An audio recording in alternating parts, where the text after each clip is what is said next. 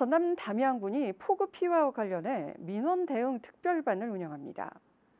특별반은 경제, 건축 등 여러 분야를 하나로 합친 한 팀으로 구성됐는데 폭우 피해 관련 민원을 처리하는 데 의견 조율 과정을 줄여 빠른 조치가 가능하게 돕습니다.